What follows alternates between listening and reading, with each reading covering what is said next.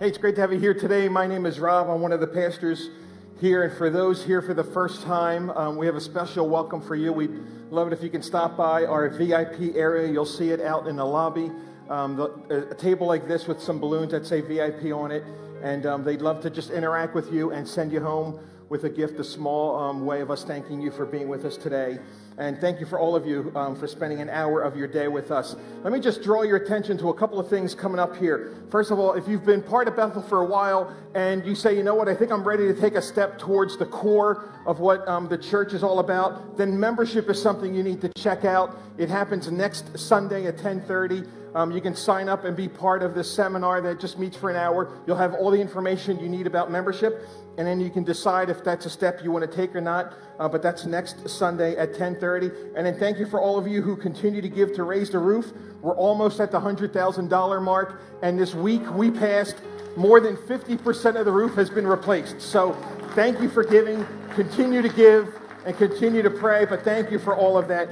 And then we're in a series that we're calling Shift.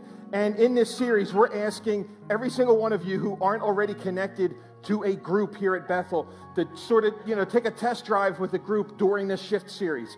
And so the easiest way to find out where the groups are at is you go to our website, the Connect tab, you just go down to B groups, and you'll see a list of every um, opportunity you have to jump into a group. You know, we have them by interest, we have them by age, we have them by location, all sorts of ways you can get involved. We have groups that are just kicking off for this study that would love to have you here. And then in the lobby, you're going to see a bunch of people in these blue shirts, and they would love to help you, um, you know, answer your questions, help you connect with the group, stuff like that. Because life really is better when you're doing it with other people. And so we know that in a church our size, people come to a service and they leave. And God will bless you because you're growing and you're making an attempt to, you know, to grow with Him. But you will experience more blessing and more growth in your own life when you begin to connect with other people because God uses other people in, in just huge ways in your life for good. And so we encourage you, stop by our lobby. You'll see that people in these blue shirts interact with them. We love to get everybody connected because as we go through this shift series, we're all discussing the same material and it gives us an opportunity to go deeper. So we're in a series that we're calling Shift because we believe that God's calling us, you know, here we are 100 years plus into our existence as a church. God's asking us to shift as a church. And so we're going to become more deliberate in what we do, more passionate in what we do. But God's asking us to shift as individuals because He's got a plan, a mission for us. And what is that mission?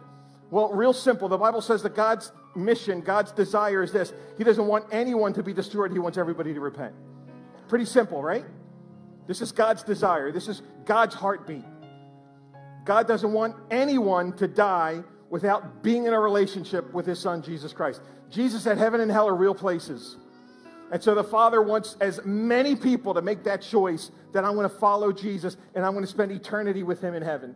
And God doesn't want anyone to perish. And so Jesus understood that because when Jesus came, he said his mission was to find lost people and save them. He understood what his purpose was. Jesus is the one who said that he came, he didn't come to be served, he came to serve. If anyone had a right to be pampered, to be catered to, it was Jesus. But Jesus said, uh uh-uh, uh, i am not here to be served. I am going to show you what it looks like to serve and how, what it looks like to lay your life down in pursuit of the Father's mission. And so Jesus understood that and he lived it out to show us. And so when he was inviting people to follow him, to be his disciples, listen to the invitation he gave Come follow me, and I will transform you into those who catch people for God. So, for every one of you who are here as followers of Jesus Christ, this is going to be a fun, hard hitting talk. So, buckle up, all right?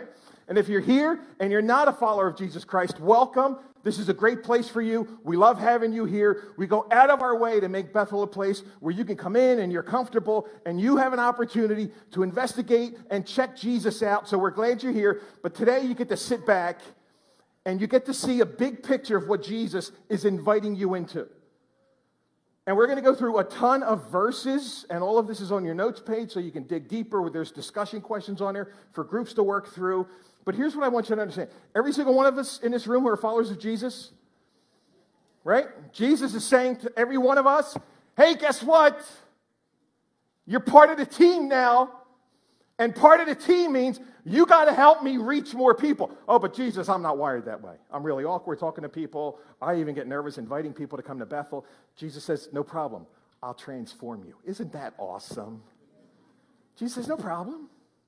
It's not up to you. I will transform you. And what is Jesus transforming us into? He's transforming us into those who catch people for God. This is the mission that every single one is a part of. It doesn't matter what you spend your day doing at work, at home, at school. Your mission is to reach people for God. I want to talk to you today about radical Jesus. Radical Jesus. We love Jesus. Jesus tells stories and we love those teachings. There's this radical side to Jesus that we try to explain away.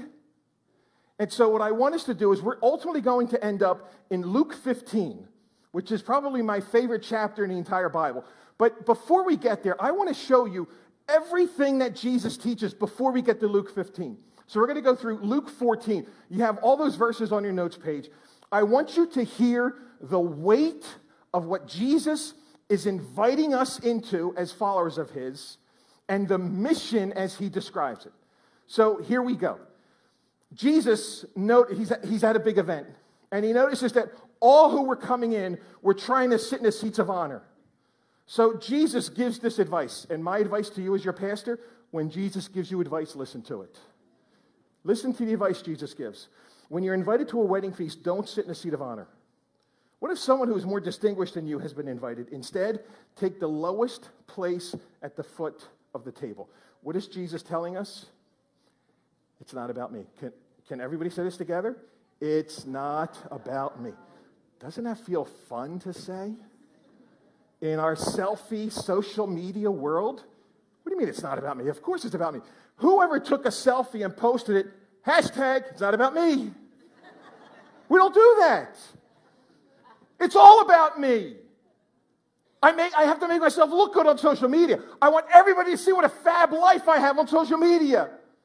Jesus saying, uh uh-uh. uh no, no, no, no, no. Every single one of us in this room, when you become a follower of His, it isn't about you anymore. Not about you, it's about Him. See, we cannot partner with God in reaching the world if we make it about ourselves. Jesus shows us that. Radical Jesus shows us that. Jesus goes on. Listen, when you put on a luncheon, when you're throwing a party, don't invite your friends, brothers, relatives, and rich neighbors, for they will invite you back, and that will be your only reward. What? Who else are you going to invite when you throw a party? People you like. Radical Jesus says, uh uh uh uh uh, not my followers. Instead, invite the poor, the crippled, the lame, the blind. Listen. Then at the resurrection of the righteous, God will reward you for inviting those who could not repay you. It's not about me yet. What's Jesus saying? If you make this life about you, if you make your church about you, what you prefer, what you want, Jesus is saying, hope you enjoy it because this is all the reward you're going to get. But if you make it about those who aren't here yet, if you make it about those who have no ability to pay you back or help you in any other way, your reward is in heaven. So decide where you want your reward to be here or in heaven. Because when we make life about ourselves, Jesus says, this is all the reward you get. But when you make life about those who aren't here, Jesus says your reward is in heaven. Jesus said, Wake up and look around. The fields are already ripe for harvest. Jesus is saying, people are waiting to respond. Do you know that the people you work with, the people you go to school with, the people you live with are ready to respond to the message of Jesus? The person you interact with at Wawa, the, the server at the restaurant, the person that cuts your hair or colors your hair. God, Jesus saying, wake up. These people are in need of Him. The reason He put us here, the reason God puts you in your crazy, dysfunctional family is not to drive you nuts. They need Jesus. Who else is going to reach them? So Jesus is saying, I'm not playing games with you. It isn't about you.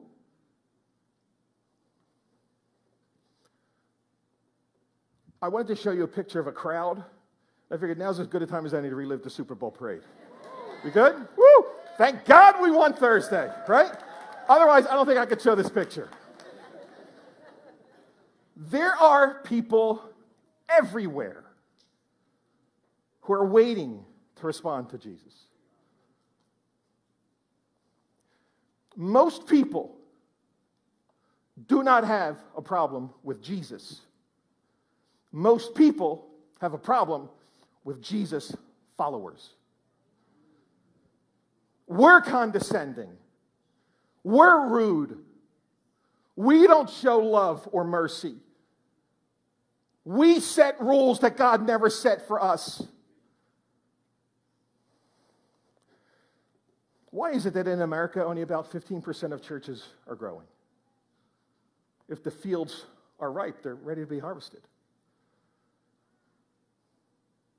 Only about 15% of churches in America are growing, and by growing, they mean they're seeing consistent conversions, not transfer growth, conversions, and they're seeing regular baptisms. Because too many of us and too many of our churches are making it about ourselves. What we want, what we prefer. Instead of saying, how can we be a place where we together worship God, where we together grow? But we do it in a way that's inviting to those who aren't here yet. That's why I'm thankful that Bethel is a place where, since we moved into this building, more than a thousand people have been baptized. Hundreds have given their lives to Jesus Christ. And it's because of you. Your willingness to say, it's not about me. What can we do to reach more people? That's why we've more than doubled in size since we moved in here. Because you're willing to say, I'm not going to make it about me the history video that you saw last week, for a hundred years, Bethel has been saying it's not about me. What can we do to reach other people? Bethel has four values you hear us talk about. They're hanging in banners in the lobby. Which of these four do you think causes people the most angst? Take a guess. The most important person is the one who isn't here yet. I've had pastors who say to me, Hey, Rob, you know, I appreciate your passion for the lost. I appreciate your passion for people who aren't here yet. But, woo, I'd never hang that up in my church. Radical Jesus would. It isn't about us. See, here's what happens. We're going we're to end with the story of the lost sheep. We love when Jesus says, the most important person, the one, the one who isn't here yet. We love that when we're the one who's lost. Woo! Come on, Jesus. Find me, Jesus. Right?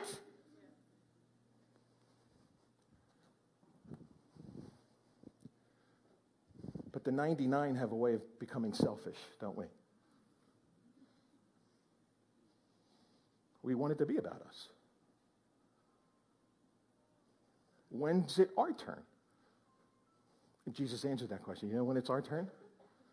Heaven. See, radical Jesus. He continues. Chapter 14 is a, a doozy. A man prepares a great feast, sent out many invitations. When a banquet was ready, he sent a servant out to get the guests and, he, hey, come on. But they all start making excuses. The servant comes back and, and tells the master, you know, all the excuses. And it says that he was furious. And so the master says, Go quickly into the streets, the alleys of the town, invite the poor, the crippled, the blind, and the lame. After the servant had done this, he reports, There's still room for more. Listen. So the master says, Go out into the country lanes behind the hedges, urge anyone you find to come.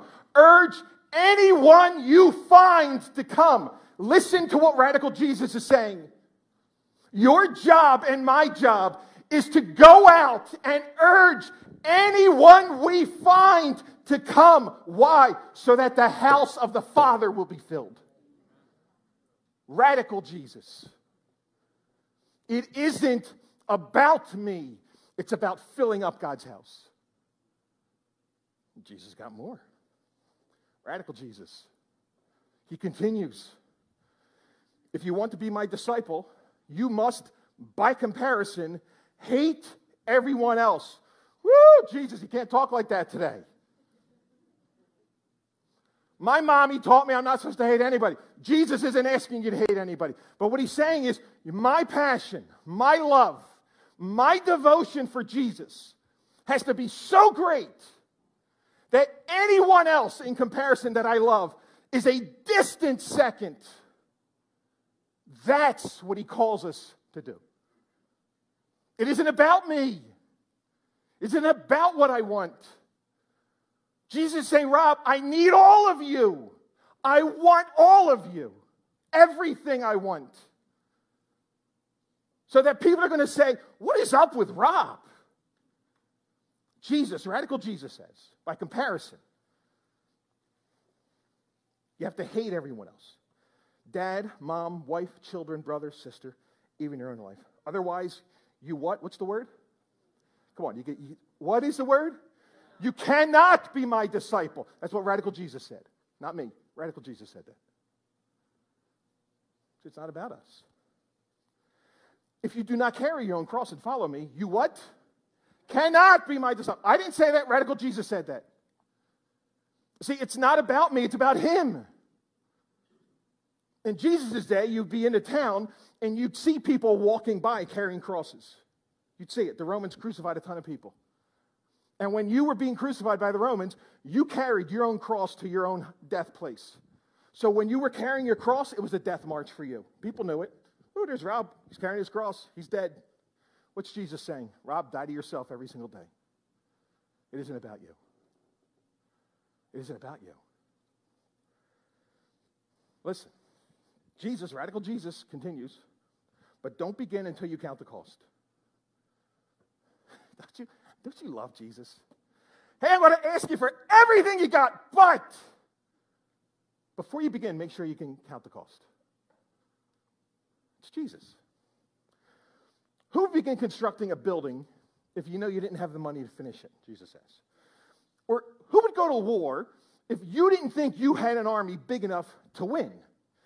In the same way, none of you can be my disciples unless you give up what?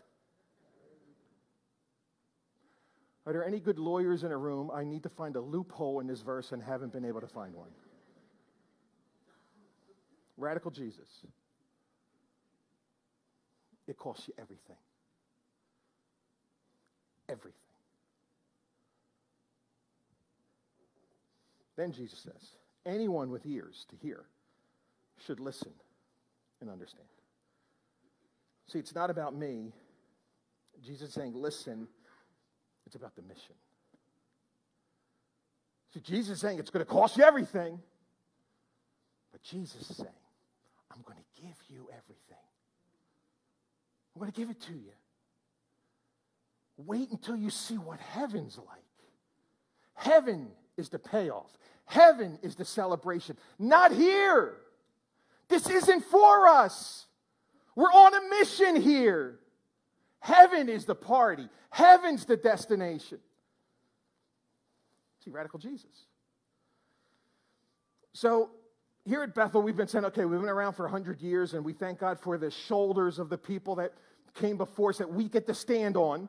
We get to build higher. We get to build bigger because of the sacrifice of the men and women before us. I was just talking to somebody from um, Bethel when they were down in Allegheny, and we were talking about the air conditioning, and you saw it in the video last week. I mean, just think about this. Bethel was the first church in the city of Philadelphia to be air conditioned. Isn't that awesome? Woo! It was about us. No, it wasn't. Do you know why they got air conditioning? They used it as a way of getting people into church. So if you see the flyers they had back then, it was like, come experience air conditioning. And people are like, woo, what is air conditioning? Oh, it feels real cold in the church. Let's go check it out. How awesome is it that we get to build on a legacy where people said, we'll do whatever it takes to introduce people to Jesus? See, here's the star represents where Bethel is, and about 18 miles in each direction out from that star is that circle. There's about a million and a half people within that circle. And why did I go with this distance? Well, we have people from up above Trenton that are coming in. We have people from this part of Jersey that are coming in. We have people from the Newtown, Warminster area that are coming in. So people are already driving in to be a part of Bethel within this circle. A million and a half people are within this circle. Who's going to reach the million and a half people in the circle? We are. We have to. That's why we're here. See, realize we're not competing with other churches. We're on the same team. Now, we're going to do things different than other churches. Every church has its own personality, and that's a good thing. So, God's going to use different churches with different personalities. Why? Because people who don't respond to Bethel are going to respond to one of those churches. So, we cheer them on. We're happy for them. We're not competing with them. Here's the, here's the deal if every single church in this circle filled up every service they did this week, there would still be hundreds of thousands of people who need to be introduced to Jesus Christ. Who's going to reach them? Well, Bethel said, we can do better. We're going to do better. We're, we're, we're going to do we're going to do more than we've ever done. We're going to be more passionate than we've ever been about reaching people. And so a group of us, about 30 of us, met back in January. And we said, what would it look like if that were to happen? At the time, we were running about 1,500 a weekend. So we said, okay, let's set a goal that by Easter, next Easter, we're going to be at 2,000. And then by Easter of 2023, that's five years out, we're going to be at 5,000. It's not about filling up our church, it's about filling up heaven. You, you know what we want to do? We want to say, we want to get to heaven and hear God say, hey, Bethel, hey, all the other churches in this circle, this circle was the hardest place on planet Earth to die and go to hell from. Good job. That's why we're doing this. How are we going to get to 5,000 in four and a half years? I have no clue. No clue. But here's what I'm telling you we're going to get there. We're going to do whatever it takes to get there. Whatever it takes, we're going to do. Why? Because Jesus is asking us to reach the people who aren't here yet. So last week, as part of our services, we had you write names down of people you want God to bring into Bethel who aren't here and are already up on the roof. So they're going to be up there and they're going to be part of this building, just like the hundreds and hundreds of names on the floor that I showed you last week. Do you know that already four of these people have shown up to church? Four. So last Saturday night, people wrote names down. God brought three people last Sunday without even an invitation. I met another one last night who came, whose name is on here. And someone came over to me and said, He doesn't know, but his name, I wrote his name down, and it's his first time he's ever here. Four people have come already. There's hundreds, if not thousands, of names on these boards. We're going to make room for them. We're going to make room for them. See, radical Jesus is saying it's not, it's not about you, but here's, here's the exciting thing it isn't about us. But when you join forces with the Father and you say, Your mission is my mission, and I'm going to do whatever it takes to reach people, you realize you're never more alive. You're never more filled with joy. Never. This is what we were created to do. So Jesus goes through all of that in Matthew, eh, I'm sorry, Luke 14. Then he gets to Luke 15, and he tells three stories. He tells a story about a dad who has two sons the prodigal son or the lost son, the story is referred to. One son says, Dad, I want my inheritance. I'm done with you. I just want to leave on my own. Dad is brokenhearted. Give him, gives him his inheritance, and he goes and he squanders it, and he has nothing left. And in desperation, he says, I'm going to go back home to dad. Maybe dad will hire me as a servant. And dad sees him, loves on him, says, My son who was lost now is found. Welcome home. And he throws a huge party. And what is Jesus teaching us? It's not about me, it's about the one who isn't here yet. And we get celebrated where? In heaven. That's what Jesus is teaching us. Jesus tells another story. A widow has 10 coins, valuable coins. She loses one. She turns her house upside down looking for it. She finds it. She calls all her neighbors and says, I found my coin. The one that was lost is now found. Let's throw a party. What is Jesus teaching us? It's not about us, it's about the one who isn't here yet. Why? We get celebrated where? In heaven. And then my favorite story 100 sheep. There are a hundred sheep on here. Trust me, I'm your pastor. I wouldn't lie to you. A shepherd goes out one day, comes back, counts a sheep, realizes there's 99. This is the story that we don't get. We don't get this story. But I want to be honest with you. If I was that shepherd and I've been out all day with sheep and I come back with 99, I'm like, ooh, good enough. Right? I'll find that stupid sheep that got lost tomorrow when I go back out. And maybe it'll learn a lesson if it has to stay out alone overnight, right? What does the good shepherd do? Leaves the 99 and goes in search of the one. Who does that? Who does that? Radical Jesus does. Radical Jesus does. And he's asking us to do the same. What is he teaching us? It's not about us, it's about the one who isn't here yet. Our celebration is in heaven. See, it's not about me. I, I, I love that story of the sheep, and my family has given me stuff to re- remind me of that. So one of these say Luke 15, another one has a goofy looking sheep on it, and I love wearing this stuff because it's a reminder to me. We all want to make it about us. It isn't about us. So here's what we're going to do as a church. We are going to be more intentional and more passionate than we've ever been about reaching those who aren't here yet. The first thing we're going to do that we're excited about is we're doing a, a, a trunk or treat. Two weeks from yesterday. Help us spread the word. You'll see it on social media. Bring out your friends, bring out your neighbors. Let the kids know we're going to have an awesome time. It is going to be an amazing time here. And how can you help us? Well, you can help us in a lot of different ways. When you go to the store this week to buy yourself a bag of candy, buy one for your house and buy one for this house. You'll see containers out in the lobby next week, drop off wrapped, wrapped candy. We're going to buy candy, but you can offset that price by donating. And we're asking you to help us with gallons of apple cider so that it offsets the price as well. Invite people, plan on being here and, and, and participating. We need people who are willing to decorate your cars. I'm not talking about putting like orange streamer on your trunk. We need creative people who are going to go overboard so that we have destinations in the parking lot for people to go to and get candy. And we'd love for you to help us with that. I did not put this email on your on your notes page, so take a picture of that, shoot us an email and say, "Hey, I'm interested. How can I help?" And then invite more, pray more, because we're not only doing it outside. What we're going to do is we're bringing people in the building so the youth center is going to be decorated. We're going to have stuff going on in here. All the kids' classes are going to be decorated. So as people are walking through the building with their kids to get candy, they're going to say, hey, we got youth group going on here Sunday and Wednesday. We'd love to have your kids come back. And when they're in the auditorium, we're going to say, this is where we do church. We'd love to have you come in for a service. And when the kids go to the kids' classes, the parents are going to be told, hey, this is where the kids do their own classes every weekend. They'd love to have them come back and be a part of that. That's why we're doing this. Now, let me say this. I know in a church our size, there are going to be people who are going to say, you shouldn't be celebrating Halloween, that's a devil's holiday.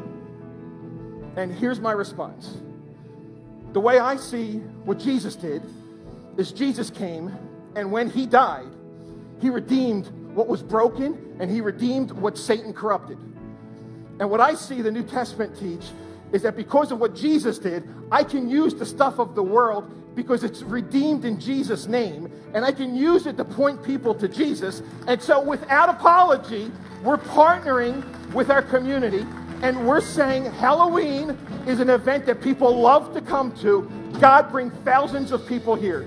And here's my advice if you struggle with this, pray that God changes your heart because wait until you see what we have coming up and if you're struggling with this, you're really going to struggle with some of the other stuff. We are without apology going to say whatever it takes to reach the world, we're going to reach the world. Hey, would you stand with me, please? We're going to pray. Father, thank you that you've given us a heart to reach people. Thank you that you've invited us to be part of your mission. Lord, we pray that you bring in thousands of people for our trunk or treat. Give us the heart, the eyes of Jesus. Let us see the fields that are white, ready to be harvested. And we pray, Lord, as a result of the trunk or treat, that we see hundreds, thousands of lives brought to Christ. We pray in your Son's precious name. And all of us agree with this prayer and said, Amen.